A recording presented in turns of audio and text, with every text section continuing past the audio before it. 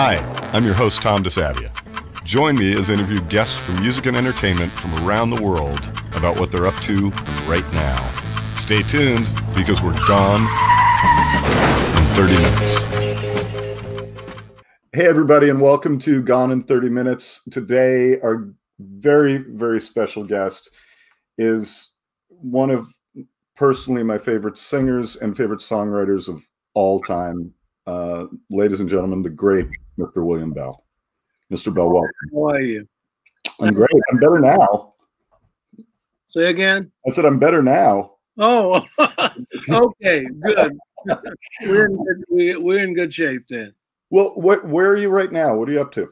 I am uh, in Atlanta in my studio right now, working on editing uh, some video footage and stuff that we did for the National Endowment of the Arts. A couple of songs of, of mine, and uh, so we had to uh, do some editing on it because they're going to put it into uh, a presentation that they've got. So uh, we're working on that now. Can I ask what songs you did? Yeah, of course. Uh, you don't miss your water, and this is where I live. two two of my all-time favorites, and this is where I live. I'd like to jump into a bit. I, I mean, masterfully produced by the great John Leventhal, who I know he I, certainly a, a, student of Stax as he proved himself with that record, but also a Grammy win for you. Yeah, it uh, you know thanks to my good friend uh, John Leventhal, we uh, worked on it for a year, and thanks to Concord Stax, uh, it was 40 years since I had been with the Stax organization, and uh, I was the first uh, single male act that they signed back in the day, back in actually 60, and then the record came out uh, in 61. But um, it was just uh, wonderful to be able to receive my first Grammy after getting back with the uh, Concord Stax organization. So uh, everything worked out. I, I was I was not aware you were the first solo male act signed to Stax. Yeah, they had uh, uh, uh, an instrumental group uh, that they had last night with, and then they had Rufus and Carla as a duo. Right. As a single male artist, I was the first one. Can I can I ask how that came about? How you wound up with Stax? Yeah. Um, it's a long story, but I'll make it short. Um, we had a doo-wop group called the Del Rios that mm-hmm. Sang around Memphis and out of town and different things. And uh, Stax and Chips Moman were aware of that, so they needed a group to do backup work behind Carla Thomas's Gee Whiz. Okay. And uh, of course, uh, we were picked to do that. They had put a group on there, and I think uh, they were singing, as we say in the business, flat or out of tune. So they called us to do it, and we did it. And of course, they liked what we were doing and signed us on and did about three uh, 45s on us as the Del Rios. Mm-hmm. And then a couple of my guys were drafted into the military, so they signed me on as a single artist. And how old were you at this point? I had just turned when they first signed me. I had just turned 18. Wow. And of course, uh, I went on the road and I hadn't cut anything as a single artist with them. And uh, so when I came back off of the road, I had written a couple of songs, You Don't Miss Your Water being one of them. And uh, Chip said, Are you ready to cut and everything? And I said, Yes. So, so we went in and cut You Don't Miss Your Water. And of course, uh, that was the first major hit for Stax Records then. Was that the that, song was written while you were in New York? It yeah, I feeling homesick uh, in a hotel room there at the actually at the Sheraton there on Seventh Avenue, and uh, Sunday we had a day off, and it was raining and storming outside, and uh, that idea came to my head, so I wrote it down and jotted the lyrics down and just kept it in the back of my head until I got back to Memphis. I didn't think actually that uh, I would uh, record it that soon, but uh, they wanted to get something out on me. Did you um, did you consider yourself at that point a songwriter? Yeah, you know, I was always one of these strange kids that uh, I was an only child until I was about 10. Mm-hmm. And so I was a loner, and uh, writing poems and stuff like that was kind of an outlet for me. Uh, and that's what I did a lot of. And then singing in church, I started uh, and then started singing with the uh, Phineas Newborn Orchestra on the weekends. I got into um, learning a little bit of chord structure on the keyboards from different musicians and stuff. So I uh, started setting my lyrics to music. I didn't, you know, at, at first I really didn't know if I was going to go into uh, the actual music business. Uh, I knew I loved it, but I, my mom and family people wanted me to become the first doctor in the family. So uh, all of my studies in school and everything went toward that chemistry and all the other things. But um, I got that bug in me about the music and uh, performing it at the Flamingo Room, and was just a joy for me on the weekend. And uh, they had so many iconic uh, Hank Crawford and uh, Charles Lloyd, Fathead Newman, all those guys that went on to become jazz uh, aficionados. They they were in Old Man Phineas's band in their 20s during that time, and I'm just a 14 year old kid. And they just kind of took me under their wings. Phineas Jr. would sit me down at the keyboard and uh, teach me chord structure, how to sing half tones and stuff like that. And I was going to university. I didn't know it at that time. And uh, being taught by some of the greatest musicians that went on to become really great themselves. It was just a joy uh, to to be doing that, and I I really got the bug on that. And uh, when I you mentioned New Orleans, when I cut you don't miss your water, the first city that it went number one in besides Memphis, Memphis was was playing it, but I'm a local kid there. The first city was New Orleans. They had it, and it was number one there. So I, for a weekend, I went down to New Orleans and performed uh, in between uh, other other duties and everything. Yeah. Was that the was that the moment when that song came out that you went, oh wait, this maybe I, maybe I'm not going to be a doctor. Did you break it? Yeah, I think I think you know I didn't really know because we had cut one record with the uh, the Bihari Brothers on Meteor Records, and it really didn't hit nationally or anything. So we just got a lot of uh, shows with the college circuit and back and forth around Memphis. So I didn't really know if uh, that was my thing to be in the music business, but I knew I loved it. I just uh, had an inkling to try it to uh, the chagrin of my mom because she was aware of all of this and being the staunch gospel singer and and all that she just uh, actually told me uh, that uh, I was going to be like all of the other blues singers that uh, wound up having to take up collections to bury me. So yeah, that's my mom. She was blatantly honest. Oh, bless you. Was, was there comfort knowing that there were people like Judy Clay that also came out of the church that were sorry, I mean, so much came out of the church. Oh, world, all of my favorite singers were in church. Sam Cooke was one of my favorites, mm-hmm. and uh, the Soul Stirrers and the Highway QCs, all those gospel groups. And uh, I love the harmonies and, and how Sam would ad lib and all that stuff. And I got to see them when they were in Memphis for a week once. Uh, they had some car problems and had to lay over in Memphis and sang at a couple of the churches. So I got to see them, and that was another thing that just kind of solidified my interest in, interest in becoming a, a blues singer, a secular singer, or something. The thing was, my mom didn't necessarily care for it, so Phineas almost begged her to let me sing on the weekends. And uh, since I was going to go to college, that was a way, an easy way for a young kid to make some money and, and store some money away for college right. and everything. So, but I was always a loner kid and uh, kind of strange. I listened to everything, all kinds of music. I listened to jazz, I listened to blues, I listened to country.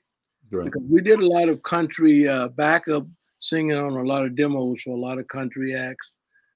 Well, you, you touched on something a second ago. I'd love to to talk about, um, which is just the support you had as a kid from from the elders and the the, the people who are taking care of you and ushering you through this world.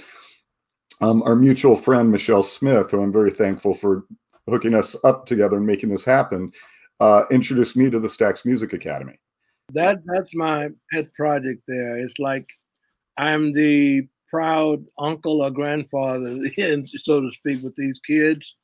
Um, I've been working with them from day one, and because they remind me of me when I was uh, 12, 13, 14, and uh, these older musicians around Memphis, including BB and Bobby Bland, took me under their wings. I was part of a, a group called the Teen Town Singers with Marvell Thomas, Carla Thomas, and Rufus's kids and everything. And uh, we uh, just all grew up together in the same neighborhood. Isaac was uh, in a different neighborhood, but we all still knew each other.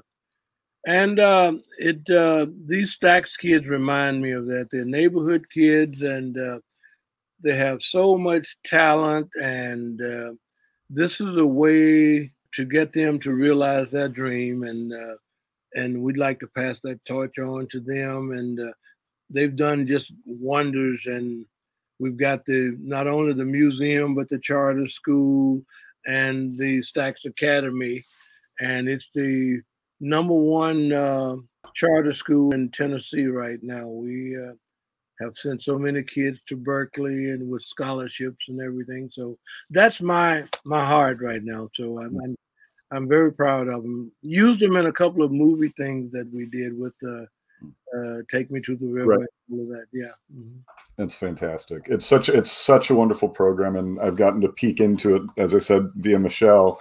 At any time, uh, it's a wonderful thing. But I think right now, especially if we could, this this is going to air soon. That we're you know in the middle of a lockdown. That yeah. our communication with each other is is uh, is stunted. And I, I meant I, I, sort of a two part thing I'd like to talk to you about is one, um, are you how is your creative process during this time? Well, I'm I'm forcing myself to to do it. Um, I I love doing it, but with you know you're bombarded so much during the hours of the day and night with uh, COVID situation, with uh, the political situation and all that. And it, it's kind of hard to get into that arena of being creative. A lot of times I don't listen to uh, TV for a week at a time, and then I listen to a lot of music. And I've got a man cave at my house that I have laid out to where I can just go down there and shut the door and be just in isolation and, and be creative. So I've done a lot of writing. We cut three or four songs already that uh, I feel very good about. Two or three things that I did that uh, Larry Campbell cut one of the songs that he and I did. So we send files back and forth, and uh, so I'm I'm being as creative as I can under the circumstances. So is there is there can I get you to commit on video in front of the world that there's a new album coming our way? Yeah, I think eventually there will be a new album coming out. I'm I, I want to get all of the stuff written and uh, so that I can sit back and really assess what I've done and uh, really pick out. I'll probably have uh, 30 or 40 songs written during the course of it and uh, just pick out uh, 12 or 14 of the best ones. Yeah. And uh, that's what I like to do because I, I don't like to just say I'm going to have these 10 songs and that's what I've got to work with. no let me do them. And when my ears cool off and uh, maybe a month later or something, I'll sit down quietly and do put them under the microscope, so to speak, and do an assessment of them. Has that been your process pretty much through your career? Yeah, that's been my process yeah. during my entire career. That's do, do, have there ever been songs that you considered tossing away? That oh, quite a few, yeah, quite a few, and um, not only uh, uh, just rewrite, you know, and I'll keep the original idea and the concept, but just totally rewrite it. And then I'll put it away and then I'll come back and listen to both versions the original version that I, when I started concept, and then the one that I just rewrote and see which one grabs me. I, because I like to be totally honest about my writing. I feel like uh, if I like something, fine, but then I want to bounce it off two or three other people and thank goodness I've got a place here in the studio that I can have some of my people listen to it. And I tell them to be brutally honest with me no yes or no, unless they really love it. And then because I'm going to ask them the next question is, what about it that you love? You know, what grabs you in that first verse or that first chorus? And do, do you ever do you ever know with uh, you're you're obviously one of the more humble gentlemen walking the planet, but has there ever been a moment when you've written something you went like, yeah, yeah, that, now, do you know right away, or are you sort of riddled by a self doubt with it? Sometimes that happens, um, and when it does, it's usually a strange time when I write. Sometimes when I'm driving, well, not now, but I used to drive back and forth to Memphis a lot, and I love to do that because I can concentrate and just think of things, and I'll keep a little. Uh, I've got a little four-track uh, uh, digital microphone by and, and recorder by me. I'll just put it on and and and bounce some ideas around. Um, I like to do that, and sometimes I come up with an idea and it just grabs you, and you say, "That is a hit record. If it's performed and done right, it's a hit record. And a lot of times that'll come during my sleep. I keep that by my bed also. And because uh, I wake up with the whole idea of the song just going through my head. And so I try to capture that initial idea. And then maybe I'll change it later on or change a verse here and there. But I try to capture that initial original idea because I think at that time, and that as far as creativity, that's the best time to capture it when it's flowing and coming to you. Hmm. Has it, it is good you said uh, driving to Memphis in normal times when we can? Are you still back and forth to Memphis a lot? So I like to go back and forth. Memphis is, I'm like uh, torn between two cities. You know, it's like they've accepted me as a, uh, the son that's adopted in Atlanta, but I'm still Memphis is still home. Yeah. So uh, I like going back and forth to Memphis, and I get to see the Stax kids. I go by Stax all the time and uh, see how that's going on, and uh, uh get to visit family and friends. And but um, I'm hoping that'll come back soon so that I can get back. I was talking to Boo Mitchell uh, a couple of days ago, and he said can't wait to get back into the studio with me to start because we we worked in his studio sometimes yeah. over at Royal. So it's just uh, been kind of hard not being able to hook up with people like that, except through sending files back and forth. You know. And this is so. This is one part I love about doing this show because I deal with songwriters all day, and everybody is going through a struggle, and, and it mostly revolves around not seeing their creative inspirations, their the people they collaborate with. But I also wanted to hit on something you said earlier because I think it's important for people to know it's it's it's it's very easy to feel hopeless and confused right now. What I said, especially if you turn on the TV, especially yeah. if you're you know you, you can't escape it.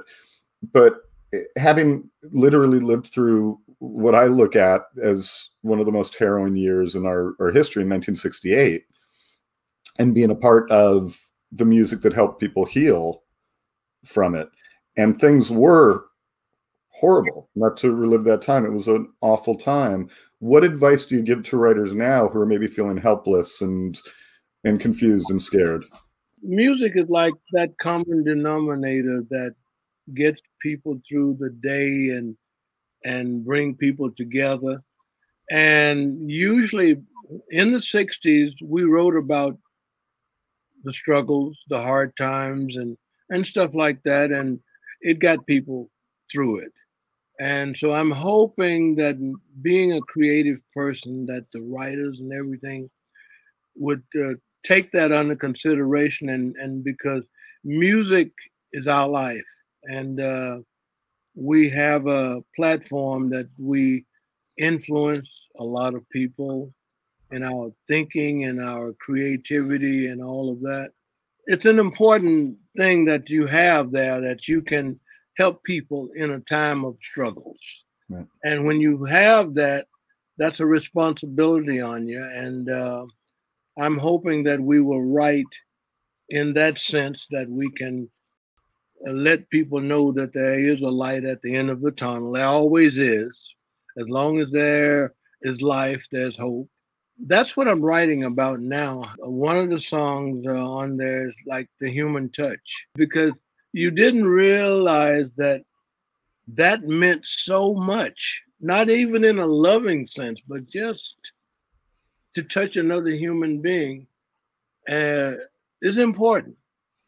And since COVID, we're kind of isolated from doing that. We do the fist bump, and but that's not like a good hug and being a, a, a, people person, you know, I we hug and you high five and all of that. But now we're kind of distancing and with the mask and all of that. But you're right about that. That too shall pass. There are a couple of other songs that I'm writing about these times that we're going through now. Uh, and one is a little bit more or less political. And I usually don't write about a lot of political stuff, but mm-hmm. this one I just felt an obligation to write about. So I'm writing about that, writing about some history of how people survive and prosper and, and come together in times of struggle. So, uh, and and I'm hoping that that will not only for this generation, for our generation, the next generation to come, that will be something that people can listen to uh, on whatever platform we're listening to stuff on then and can uh, get some relief from all of the things. All people need sometimes even like back in the 60s when we could come together but to go to a concert it was like four hours of escapism right and as entertainers, you took them from one gambit to the next, from uh, just being overjoyed to where they want to dance in the aisles to a, a song that uh, would create a thinking process for people. And uh, that comes from that church experience. You know, that's what church gives you on on Sundays or Saturdays or whatever denomination you are.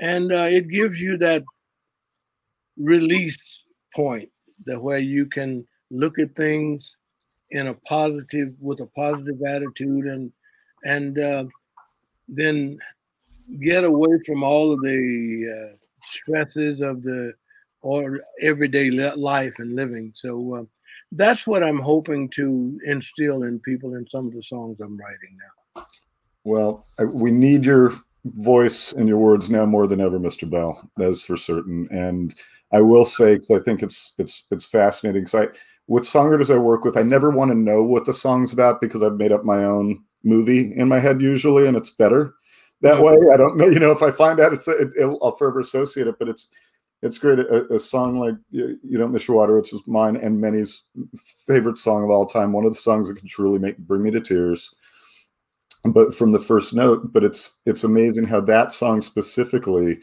which i didn't know was written about a young a young man in new york missing his home you sort of assume it was about a relationship it was about a lost love and and now in this time i mean it means so much to so many writers, and I've had writers reference that song so many times just in that line about not being able to be on the road and not realizing how much they love that life or how much they love that the touching, the the experience, and and to have that song be a theme all the way through this life and to take on different meanings, I think is the well, style, one of the greats. You know, you know, when you write honestly and you realize the situation, you write honestly about it, people can relate to it.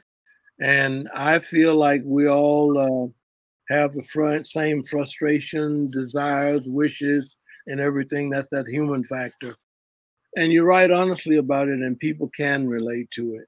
Uh, and it in, does incorporate all of the things about the lost love, the the idea of being on the road and missing a mm-hmm. loved one, or or just trying to survive and get back to a loved one. You know, uh, and then if you look at it in a another sense, it can um, talk about just things, material things that you don't mm-hmm. miss it until you don't no longer have it. You know, yeah. so uh, and you have to write it in such a way that everybody can understand it and and and not have to necessarily wonder about it, but they can relate to it and and, and apply that to their lives. Amen. All right, we're at the lightning round. I don't want you to think. I want you to just come back straight answer. Ready? Favorite singer of all time? Sam Cooke. Favorite songwriter of all time? I got to think about that. that is a hard one because yeah. there's so many iconic songs that I've listened to throughout the years. Uh, of course, Sam would be one, but then you've got the people like the Bob Dylans and the Lionel Richies, and and then there are a lot of ladies that that just write that hard tugging songs. So there's so many uh, good writers out there, country writers to me. I've listened to country my whole life. Uh, that's the one good thing about growing up in Memphis. On the radio, you heard everything. In the course of a day, you heard gospel, country, jazz, uh, uh, what they call rockabilly, and you know the Elvis things, and and it all kind of blended in. And, and if you were exposed to it, music is music, uh, but a, a, good country song to me, and they've had uh, God, Willie Nelson, uh, you name it, uh, Jim Reeves, and I'm counting old school things. Yeah. Then you've got some good modern country guys that are writing just some great lyrics and takeoffs on on things, and I love uh, a good lyric and a good melodic structure. And uh, if I cover a tune, usually it's because of that, it, it, that I can relate to it both from my life, but it, it, it has a good, just a hard wrenching lyric to it. But uh, it's it's hard to pick just one writer to me. That is that is fair enough, and as such, I'm going to spare you from the rest that would give you as equally as stressful answers. But Mr. Bell, please bring us more music soon. We need it thank you so much for taking the time. It has been a great honor, and you've just made this has been the best part of my year, just getting to sit and talk to you. I really appreciate it. Thank you. And I remember uh, before we go, you still got your tattoo on. I still do. Oh, uh, there we go. Yes. Man, yeah. Very quickly for our readers, I was um, nominated for a Grammy along with a co-author, my friend John Doe, um, for a book, an audiobook, and uh, we had we had swiftly lost our first nomination. And I found out very quickly the only thing that could get you out of the funk of winning of losing a Grammy is someone coming up to you and saying, "Hey, would you like to meet Mr. William Bell?" so we have a what we have a photo of it. It will it, it forever it forever made that night one of the best nights of my life. Well, so, thank you uh, for all of that, and uh, thanks for having me on, and uh, and uh, all of support and everything. Because you know, uh, I'd like to leave this in the minds of young people. You know, we, most of young people when they come out, they think of the spotlight on stage and all of that, but the behind the scene things are the important things that are happening in the music business. And there are a lot of people that elevate the so-called so-called stars mm-hmm. uh, to their positions in the music industry. And I want all the young people to know that uh, the managers and the agents and the, the other writers and and people within the label systems and all of that, and the fans.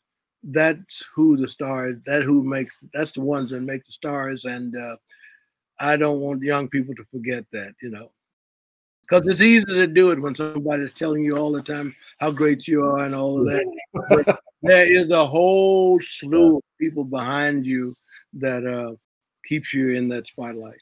Uh, and and we couldn't do a thing without the song. So it's the chicken or the egg. But I agree with you. Um, I I my hardest goodbye to our audience ever. But that's it. We're gone in 30 minutes, everybody. Thank you for tuning in. This show was presented by Craft Recordings. Thanks for joining us for Gone in 30 Minutes, produced by Laura Sáez. I'm your host, Tom, and we'll catch you next time.